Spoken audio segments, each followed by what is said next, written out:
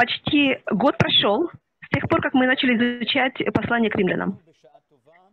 И, слава Богу, пришли э, к окончанию. 16 глава. С Божьей помощью мы сегодня закончим. В этой главе у нас есть список людей, э, которым Павел э, передает э, приветствие.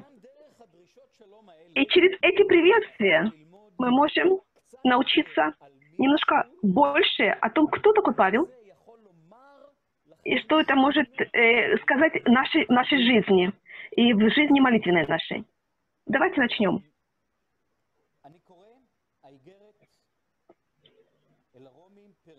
Римлянам 16, первые стихи читаем.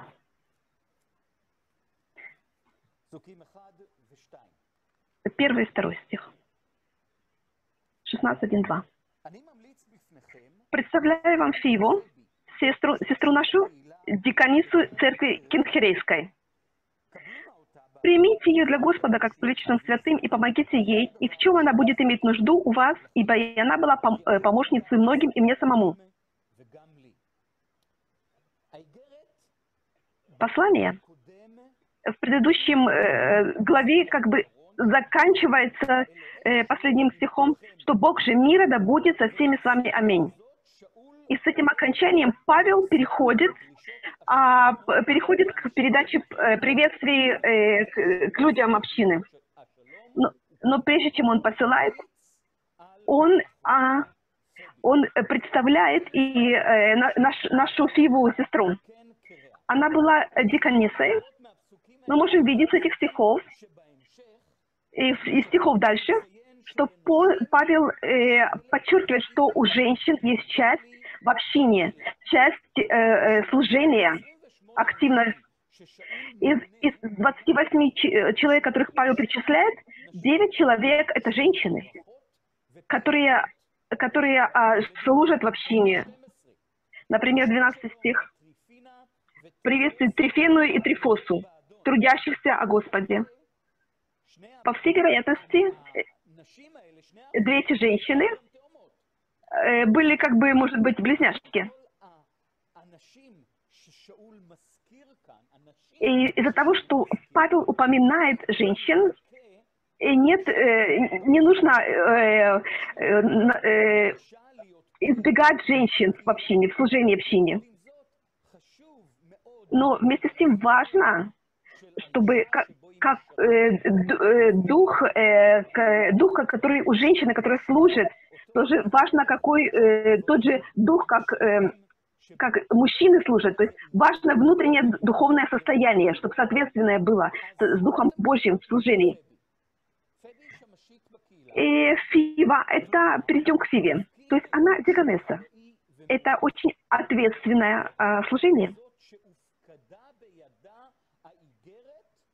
И это одна была из тех, кому было дано это послание, чтобы она передала, э, э, передала это послание дальше. Э, Павел находится в Коринфе, и он пишет, э, пишет римской общине, чтобы они приняли силу и помогли ей. В тот период э, в ночлежные дома они были э, не место, где можно было останавливаться, быть уверенным. Поэтому люди были, э, э, предпочли останавливаться у знакомых людей, у тех, кого знают. И если э, они были незнакомы между собой, то им писали э, письма рекомендательные, чтобы люди могли останавливаться на человек. Давайте дальше. Э, третий, с по пятый стих. Приветствуйте Прескилу и Килу, сотрудников моих э, во Христе Иисусе, которые головы свои полагали за мою душу, которых не один благодарю, но и всех песенщиков, и домашних церковь.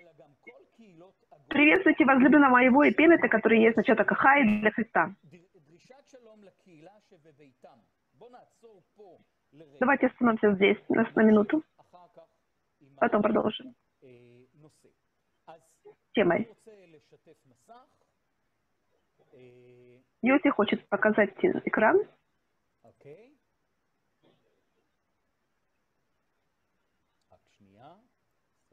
Секундочку.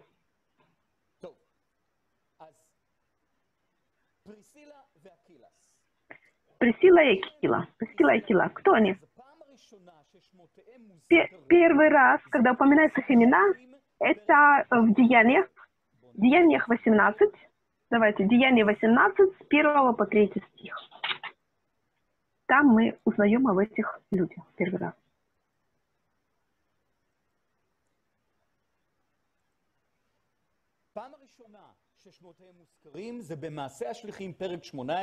В Деяниях 18, с 1 по 3. Давайте посмотрим.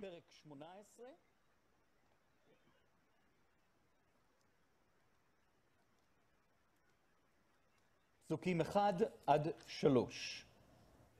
Первого по 3. После этого Павел, оставил Афины, пришел в Коринф, и найдя некоторого иудея именем Акилу, родом э, пантинянина, недавно пришедшего из Италии, и Прескилу, жену его, потому что Клавдий повелел всем иудеям удалиться из Рима и пришел к ним. И по одинаковости ремесла остался у них и работал, ибо ремеслом их было делание палаток.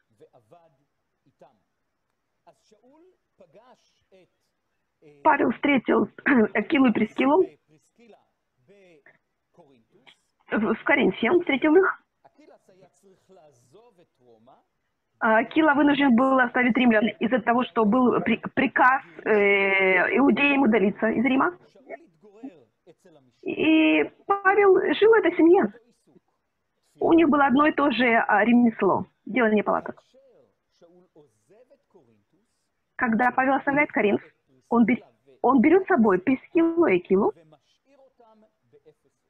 и оставляет их в Эфесе. Мы это видим его доверие, которое э, Павел, э, Павел дает им. В четвертом стихе римлянам, что они отдавали э, голову свою за, за него. И непонятно, о каком событии идет речь. Э, точно не упоминается, не рассказывается все подробности, все, что произошло там. Но может быть, что говорится здесь, в 19 главе Деяний, 23 стихе, что в то время произошел немалый мятеж против пути Господня. Итак, мы говорим, что они были в Ефесе, и Павел, и Прескила, и Кила, и, может быть, они а, рисковали своей жизнью тем, что они Павла а, избавили от опасности. Может быть, это было другое какое-то событие. Мы точно не знаем, что было, но в любом случае, и сейчас, когда Павел пишет это послание к римлянам, Прескила и Кила находятся как бы ключевые люди в общине – они, они принимают гостей, и а, у них собирается община. И Павел посылает э, приветствие тоже членам общины.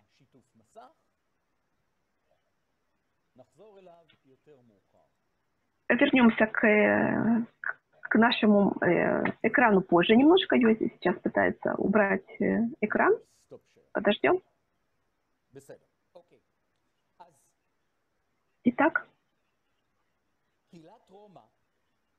община в Риме, возможно, была разделена на групп, домашние группы или домашние церкви. И в списке приветствий, которые у нас есть, мы можем видеть минимум три группы, э, где люди собираются по, по домам. Мы в пятом стихе это видим, в десятом стихе можно видим, в одиннадцатом стихе. Когда мы придем к этим стихам, мы поговорим об этой теме. Давайте с пятым стихом продолжим. Мы римлянам 16, пятый стих. Пятый стих. Приветствуйте возлюбленного моего Эпенета, который есть начаток Ахай для Христа. Эпинет Обрати внимание, как Павел обращается. Возлюбленный. Это был как бы начаток, первый плод Ахай для Христа. Возможно, это был плод э, Павла в распространении Евангелия. Шестой стих. «Приветствуйте Мирьям, которая много трудилась для нас». и Мирьям. Она много трудилась. Всем. Приветствуйте Андроника и Юнию, сторонников моих и узников со мною, прославивших между апостолами и прежде меня еще верующих во Христа. Андроника и Юний, они тоже евреи, которые были арестованы вместе с Павлом. Как, какой арест, мы не знаем. Возможно, что э, кро- кроме того, что нам Дельный просто рассказывал, рассказывает, были еще э, какие-то события, о, о которых не упоминается в книге, и которые э, пришлось э, пережить э, Павлу. И он здесь подчеркивает, что они были э, в Машех э, прежде него. То есть они были первыми верующими в Иешуа. И, возможно, они пришли к вере в Иерусалиме. Давайте дальше. 8 и 9. Приветствуйте Урбана, сотрудника нашего во Христе, Стахия, возлюбленного мне. А приветствуйте Амплия, возлюбленного мне в Господе, Урбана. Снова три человека, которые, которым Павел передает приветствие. Десятый стих. 10, 11. Приветствуйте Апелеса, испытанного во Христе. Приветствуйте верных из дома Аристовулова. Приветствуйте Иродиона, сродника моего. Приветствуйте из домашних Наркиса, тех, которые в Господе. Апелес, э, испытанный во Христе. Тот, кто прошел испытание, остался верным. Он доказал во время испытания, э, в течение долгого времени, что он верен. И говорится здесь о верных из дома Арестовула. Возможно, э, возможно, э, мы, мы видим, что есть, э, мы, что имеется верных из дома, те, которые в доме его верующие находились, те, что собираются в его доме, имеется в виду. Тоже, то же самое имеется в виду э, об Иродионе. Возможно, э, Ари- Аристовул был братом, может быть, Ирода, царя Ирода. Иродион. Иродион – сродник мой. Это имя, которое дается только сынам, э, которые из семьи э, э, Ирода. Мы, помним Ирод. Кто такой Ирод? Мы знаем. Даже есть такая гора по имени... В Иудее, Самарии такая гора по этому имени Родион. Что люди, которые находятся в его доме, что Ирод, который преследовал Машеха еще в юности, в детстве, то, то же действие, которое Бог сделал с, с Павлом, который преследовал общину, то же самое, возможно, он сделал в жизни такое чудо в жизни Иродиона, который преследовал Ирод, который считался э, то же самое действие Бог может сделать с теми, кто сейчас преследует общину и Машеха. Э, несколько дней назад э, в Кнессете решили, что одна из общин мессианских не получит э, освобождения от э, масса, от э, налогов. Кто были те люди, которые решили не освобождать? Моше Гафни и Яир Лапид. Это было чудо. Яир Лапид, Моше Гафни, а- они были вместе. Они были, а- а- они всегда были против верующих мессианских. Но и в них Господь может сделать чудо. И в их жизни тоже действовать. Привлечь их, а, узнать Ишуа. И сейчас. Давайте 12 стих. Приветствуйте Трифену и Трифосу, трудящихся о Господе. Приветствуйте Персиду, возлюбленную, которая много потрудилась о Господе.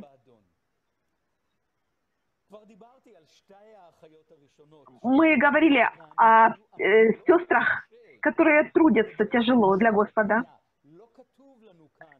У нас не написано как, э, как они трудятся, что именно они делают, но подчеркивается, что, что важно. Э, а, смысл их имен э, нежная и э, что, то есть перевод на иврит, я не могу сказать точно, как это перевести. То есть одна неж, нежная и униженная, что не тяжело трудились для Господа то есть до... Много трудились. Итак, 3, 13 стих.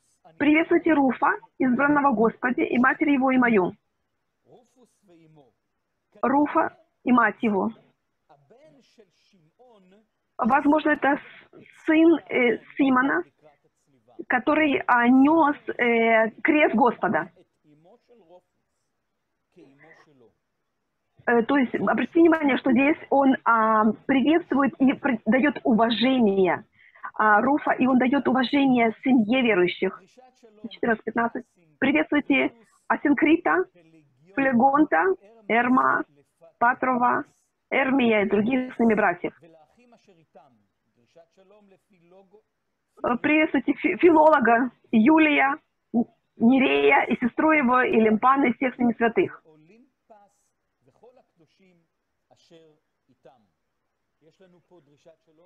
У нас есть привет еще десяти человекам общины. Обратите внимание, есть список 28 человек, имен, которых Павел знает, ценит, несмотря, несмотря на то, что он не был в Риме. Он еще не был в Римляне. Он не... Мы можем быть уверены, что Павел молится за них. Э, с великим э, усердием.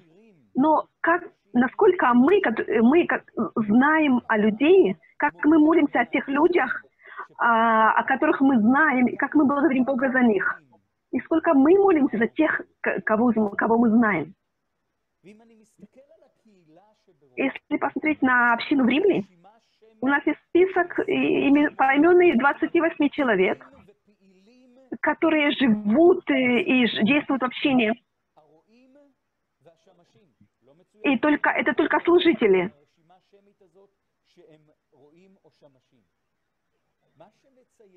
Это не пасторы, это просто служители. То есть мы видим, что здесь община жив, живая и действующая. Здоровая община, где Машех живет внутри нее которые приносят плоды нашему Машеху. И продолжение э, Павел, Павел а, их э, хвалит в 16 стихе. Приветствуйте друг друга с целованием святым.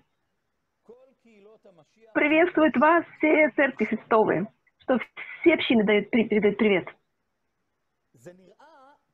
Это кажется, что Павел приходит э, к концу этого послания – то есть он говорит, благос... Э, будьте благословенны, но... Но это не совсем конец. Он продолжает еще немножечко. Он продолжает и переходит к предупреждению перед э, опасностью, которые а, могут про, про, про, произойти в будущем. И э, опасности, которые он видел в других общинах, которые возникли. И он предупреждает их об этом в 17 стихе. «Умоляю вас, братья, остерегайтесь производящих разделение и соблазны, вопреки учению, которому вы научились, уклоняйтесь от них. Ибо такие люди служат не Господу нашему Ишо Машеху, а своему чреву, и ласкательством и красноречием обольщая сердца простодушных.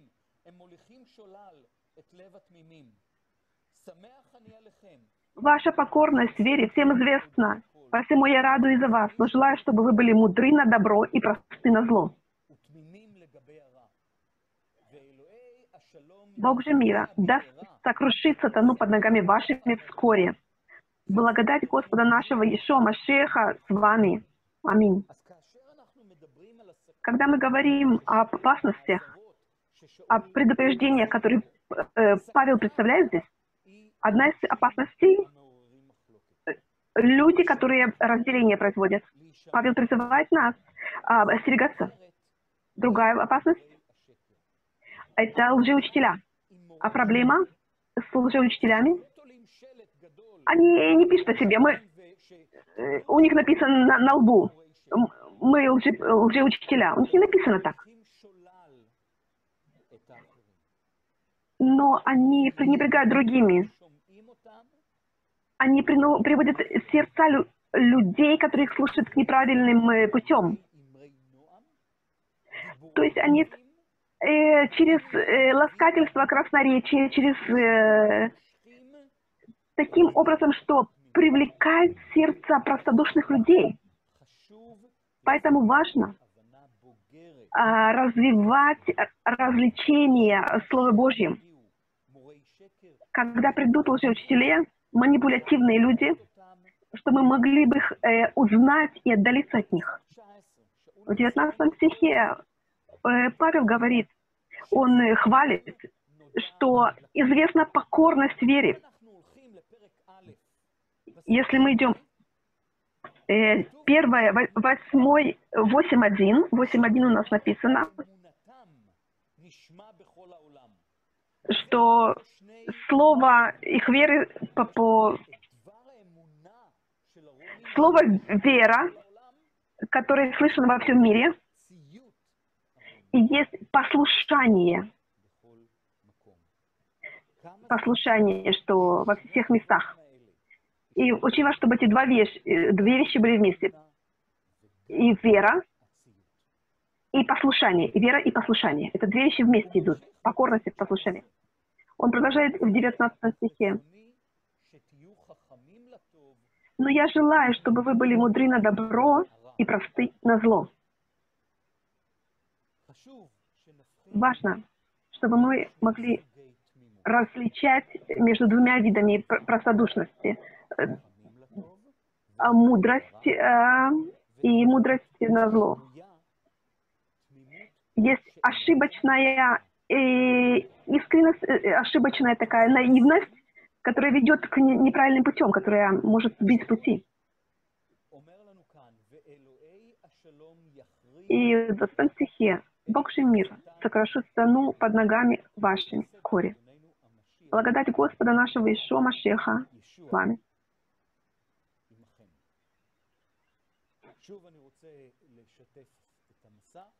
Снова Масахьюти э, э, хочет экран показать нам. Бог мира сокрушит под ногами вашими вскоре. А По-гречески -по сокрушить, это означает, это, то есть раз, раздавить, раз, размазать. Это напоминает нам то, что, э, то, что обетование в 3.15, Бытие 3.15, то, что когда Бог говорит к змею и говорит, что будет вражда между тобой и семенем жены. Между тобой и между семенем жены. Он тебе голову сокрушит голову. И ты будешь под то есть семени жены, то есть размажет твою голову. И, и, но ты будешь его в пятую жарить. Этот стих. И Бог же мира сосредоточил под ногами вашими вскоре. Он, этот стих, напоминает обетование, которое дано в бытие. Прикликается с этим.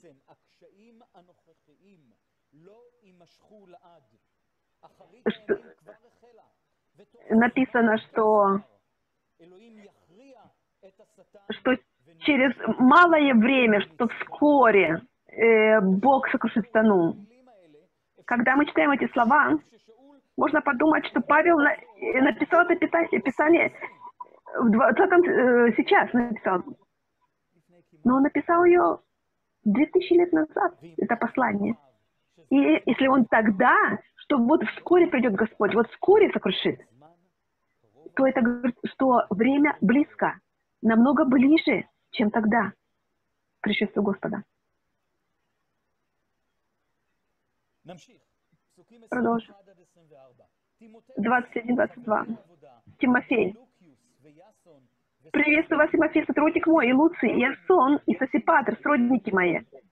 Приветствую вас, Господь. И я Терти, писавший это послание. Приветствует вас Гай, страноприимец мой и всей церкви. Приветствует вас Эраст, городской краснохранитель и брат Кварт.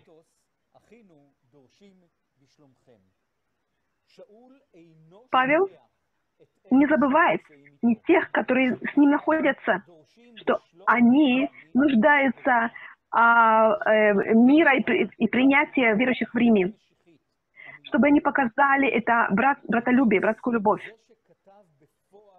Терти, который написал это послание, который писал, э, Павел диктовал ему эти вещи, а он э, записывал. Кто-то написал, который при, при, привел это в надлежащий вид. Он написал все, что... На... И он принес это Павлу. Павел поставил печать, свою, свою печать на это послание.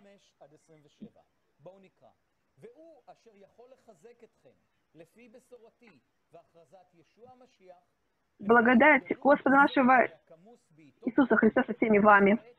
כעת הופקד, אך כעת בפקודת אלוהי עולם, נתגלה על ידי כתובים נבואים, ופורסם לכל הגויים, כדי להביאם לידי ציות שבאמונה. האלוהים אשר לא לבדו החוכמה, לא הכבוד בישוע המשיח, לעולמי עולמים, אמן. שאול מסיים את דברי פאבל- פרי- הפרידה מהקריאה заканчивая здесь слова а, прощания, он э, тем, что он не, их не посетил, но он настолько их любит и ценит, что он что, э, указывает на Бога, что Бог может вас, э, вас укрепить, что Он с вами э, во веки веков. Можно было дважды подумать, что заканчивает. И он продолжает еще немножко. 15 стихе 33. У нас есть окончание. Бог же мира да будет со всеми вами. В 20 стихе.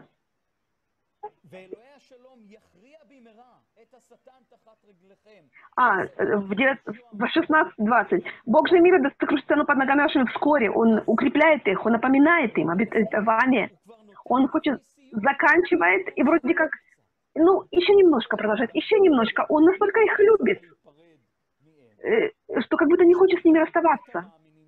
Он ободряет их, э, верующих римлян, чтобы они были постоянны в пути. И он э, указывает, что Бог способен вас укрепить. Бог может более чем просто спасти, Он может вас укрепить и направить, помочь, поддержать. Если возьмем эти вещи и дополним их,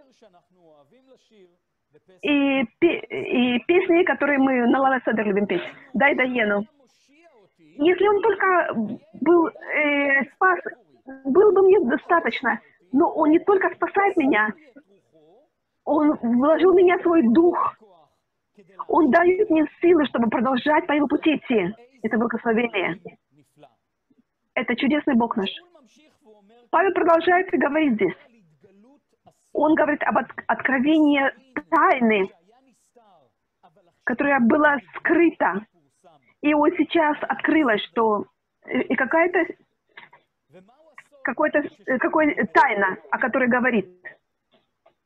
Тайна, о которой говорит. Ефесянам 3, 5, 6. Давайте посмотрим. Ефесянам 3, 5, 6. О какой тайне идет речь? Разумеется.